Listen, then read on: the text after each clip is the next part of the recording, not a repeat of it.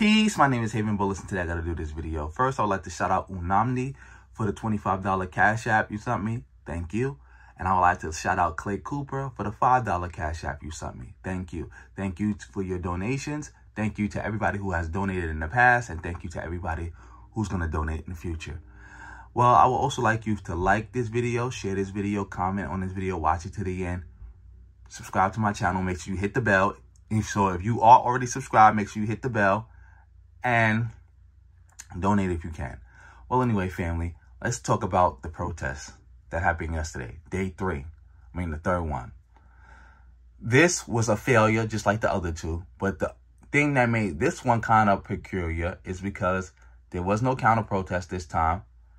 And there were more people coming to, to actually watch to see what was going to happen and security than actual protesters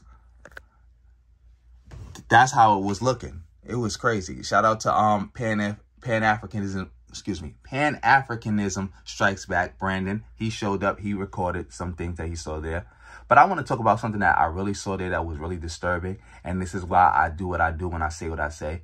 Connie Nordis, the woman who's leading this um protest, had some black dudes show up, you know, trying to like be security for her, or I think they was hired to show up.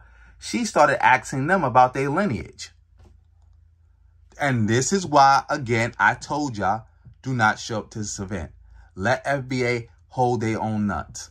Because look what happened. People coming to protect you, whether they were being paid to do it or they just did it out the kindness of their heart because they saw a black woman about to get her ears stomped together on the street and they felt that they didn't want that to happen so they was going to stand there and protect you. And then you start trying to g-check them about their lineage where where their parents from where they from where their parents from where their grandparents from.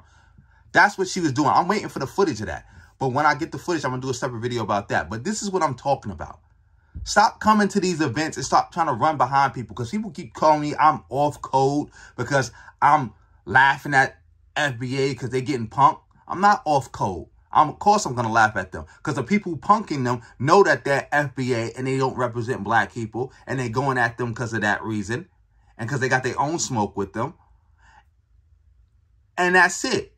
I'm not a part of the FBA hate group. I don't support it. So if people want to go at them, let them go at them. I'm not going to be um, putting the cape on them like, well, they still black. So let me go out there and fight random people who ain't got no smoke with me because, you know, FBA and they still black. And while you doing all that, the FBA people is still attacking you, still hating on you, and mocking you.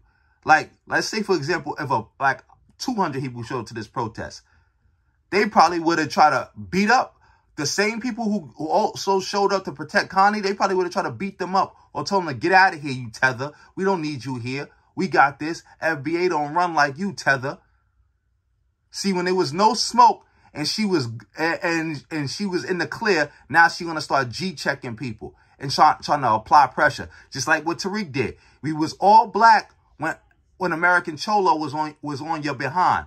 Soon as they ease up on you, now it's tether this, tether that. Us FBAs. This is what I'm talking about. Mind your business. And I'm going to end this video here. Like, share, subscribe, drop me a comment, tell me what you think. Um, the protest was terrible. It was a failure. They were begging for jobs at the same place that they said was racist.